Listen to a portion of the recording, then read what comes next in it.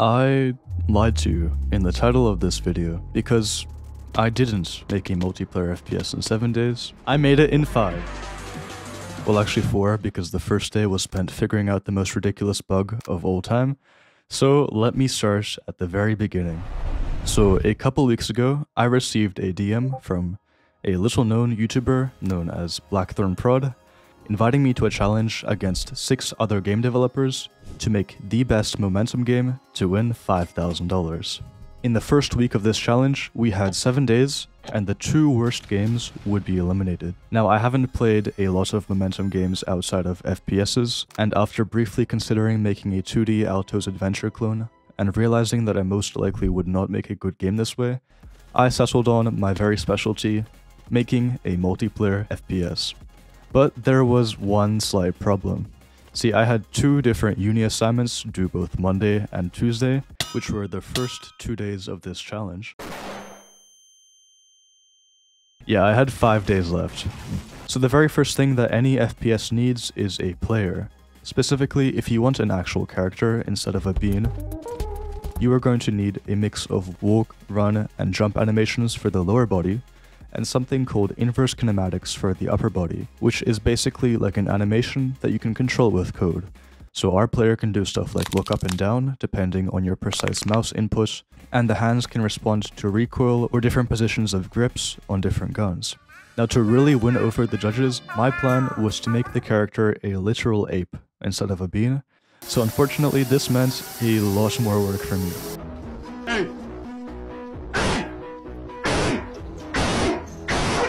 Luckily, I've already done something pretty similar to this before, with my own proprietary solution, but it was a bunch of spaghetti code, and I wanted to build a solid foundation to quickly add features in later rounds. So I settled on using an animation framework that comes with these animations and code already pre-set up, and all I needed to do was to replace this abomination of a character with a gorilla.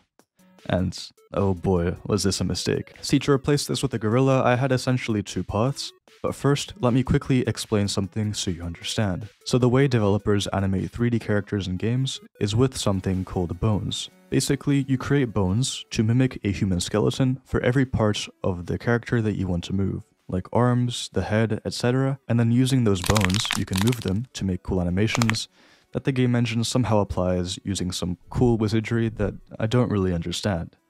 Now to replace this robot with a gorilla, which is animated by moving the robot's bones, I basically had two options. Number one was I could try to fit the gorilla into the bones and animations of the robot, so I could reuse the pre-made animations that came with this pack and reap all the benefits. Or two, I could use the bones of the gorilla, but have to delete and remake all of the pre-made animations that came with the pack. Now, although I'm extremely bad at 3D modeling and have very little experience rigging, I'm even worse at making 3D animations.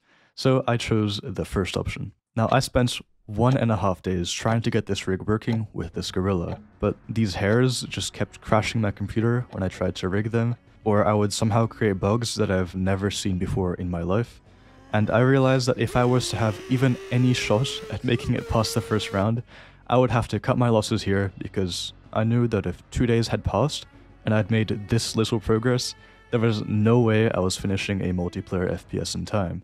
And remember, $5,000 was on the line. So to make my life easier, I found a model that was closer in proportions to a human, as opposed to an orangutan, and so I settled on a ninja, because this game was essentially going to revolve around parkour and chaining different movement mechanics together. The first thing I did was align all the ninja's limbs as closely as I could to the bones of the robot, and after about one hour, I had something sort of working, which was so promising at this stage. However, I still had these really weird artifacts, which probably could be ignored if it wasn't for the fact that they were really obvious in first person. So after about another 3 hours of not knowing what the fuck I was doing, and watching Blender tutorials, and pressing random stuff and testing, I eventually got this to work pretty well. Alright, so after 4 days, I was finally getting somewhere, but I still had to implement the most crucial aspect of this entire challenge. The theme that this entire game is supposed to hinge on, or else we will literally lose. Momentum.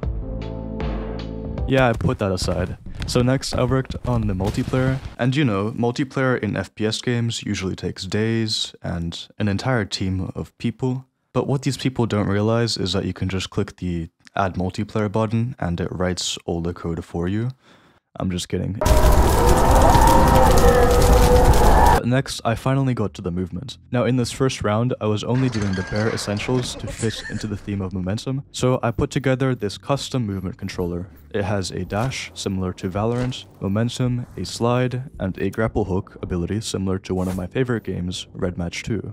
I knocked out a UI, which was copied, I mean, inspired by a game my friend made and then abandoned. I added UI sway, which changes with speed, and jumping similar to Titanfall, and then on the second last day, I pretty much went into crunch mode.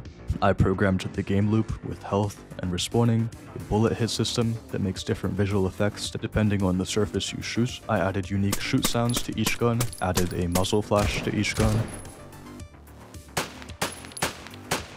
added a map, baked the lighting, added footsteps that change based on what you're walking on, fixed all kinds of bugs. Fair enough added a movement tutorial, which is literally just a slideshow of videos that you click through, and stole the death cam from my multiplayer FPS Paint Warfare, cheeky plug, but no, this actually adds a lot, because it sort of prevents campers because you can see where you were shot from. Now, on the final day, uh, on the final day, I woke up and realized that over all this time, I haven't tested anything with more than myself and in literally 5 hours, the judges were going to play my game. But before I could even do anything, I had to scramble to edit the 1 minute devlog that we were required to submit each week. And then finally, with that done, I built out a beta for my community to test with me before I submitted. And surprisingly, it went pretty flawlessly, aside from some bugs like being able to literally delete your gun by pressing F, or the players just being super hard to see. Both are pretty easy fixes, and I literally barely got everything done in time. Now the judges would need like 10 hours to all meet and judge, so I took the rest of the day off because I would need to wake up at 3 am the next day to see if all my efforts had paid off, and I would at least make it through the first round. And judging by the length of this video, and I guess how close you are to the end of it, I proceeded to get brutally eliminated. Each of you have made a really impressive prototype in one week, a multiplayer game in one week. That's incredible. As a solo developer, it's insane. Also, the theme momentum is not really integrated a lot uh, into the game. It's a multiplayer game, which I think has much more potential to be fun. It can be really good. If that multiplayer game gets better, it could be a real banger. Subscribe for more devlogs. Peace.